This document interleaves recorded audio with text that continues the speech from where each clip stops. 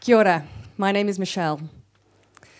I believe in a world that values diversity, a world where nobody should ever, ever have to stand on the margins of society, a world where we embrace our differences. In fact, we encourage them because we understand that societies, communities, and countries who are diverse are so much richer and so much better.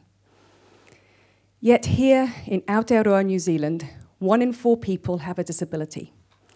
Amongst those with a disability, we arguably have some of the most vulnerable people in our communities. These are people with intellectual or learning disabilities. In a recent study, they were asked, What does a good life look like for you? And you may not be surprised to understand that is no different to any of us in this room. They want to have meaningful connections, friendships, they want to belong to a community. And belonging to a community isn't just about receiving, it's the ability to give as well. They want to have something purposeful to do in their lives, something to get out of bed for in the mornings. And above all, they want a job. The sad reality is that for most people with an intellectual disability, a job will only ever be a dream. And I tell you what, that is just simply not good enough. Without a job, they're less likely to have purpose in their lives. Without a job, they are less, less likely to be connected to their communities. And without a job, they really, really risk isolation.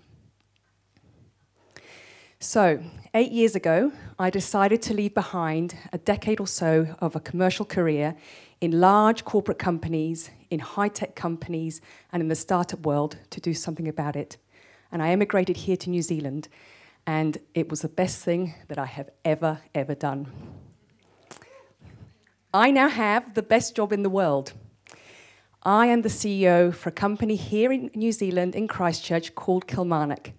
Kilmarnock provides a real, meaningful, exciting, and tangible pathway for school leavers with disabilities. We provide options. We provide encouragement. We provide the tools that people need to be able to go on beyond Kilmarnock and to achieve the dreams of their choice in terms of their career. And I tell you what, I have the best colleagues I could ever, ever, ever wish for. Many of you who work in business will understand how hard it is to find people who are as passionate about the service and customer service and work ethics as you are.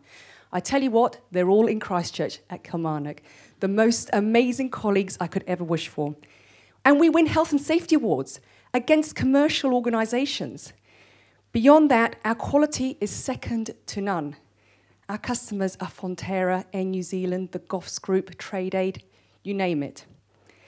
And everything that we do is rather good for the environment too. So we've got 30% of our trading income that comes from diverting something away from landfill. We've also worked out that actually we are perfectly positioned to help our employees to gain qualifications where the schooling system may have failed them. So as of late last year, we have launched a training academy as well. So it's not just employment we can offer, it's training and qualifications as well. We've worked out that if you're going to be successful in sustainable employment, that actually you need to look at somebody's holistic life. So we now have the most incredible health and well-being program. How many of you here, as businesses, would have a dance studio in your environment? We can hula hoop, we can box, you name it, we can do it. So, this is my challenge to you. I believe that New Zealand has the opportunity to be the most diverse and inclusive country in the world. We can lead by example, but we need to do it together.